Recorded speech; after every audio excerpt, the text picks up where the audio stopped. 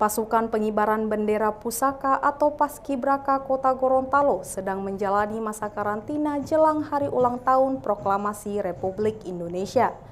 Mereka menjalankan masa karantinanya di Hotel Megazanur Kota Gorontalo sejak 4 Agustus 2023. Anggota tim yang berbakat dan berdedikasi ini tidak hanya melatih kemampuan fisik, namun juga membangun semangat kebangsaan dan persatuan dalam setiap langkah latihan yang mereka lakukan.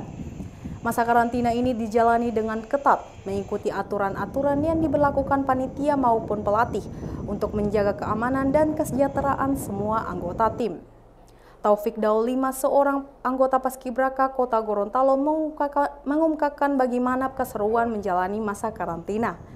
Saat ini menjalani masa karantina, Taufik menjelaskan bahwa ia mendapatkan begitu banyak pelajaran. Salima Mutmainah Adam, anggota Paskibraka Putri, mengatakan bahwa telah diatur jadwal keseharian mereka selama menjalani masa karantina oleh para pelatih. Menurut Salima terdapat perbedaan saat sebelum dan sesudah ia memasuki masa karantina. Perbedaan tersebut yakni terletak pada kedisiplinan.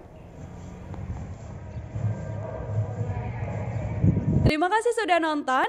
Jangan lupa like, subscribe, dan share ya.